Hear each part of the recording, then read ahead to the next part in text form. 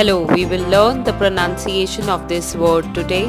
It is pronounced as gluconeogenesis. Gluconeogenesis.